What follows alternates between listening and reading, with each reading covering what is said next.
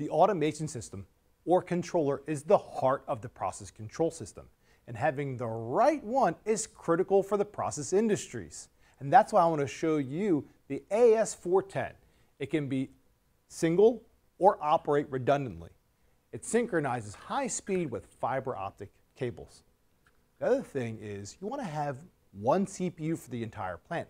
Whether you're controlling one device or over 2,500, the AS410 can scale it online without stopping your plant. Whether it's a fail-safe process or continuous process, again, one CPU for that process. What does that mean for you? That means you don't need to have different models of CPUs across your plant floor and then have to have those same models available in your stockroom. One CPU means you only have to have one model that you have to maintain. The other part with the CPU 410 is that it has interfaces for Profinet so that you can use an electrical connection to all your devices in the field, making it fast, easy, and cost efficient. What I'd also like to talk about cybersecurity.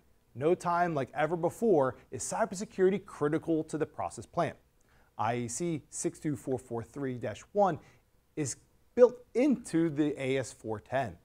How is that? In two different ways. One, we block any active connection trying to connect with the CPU.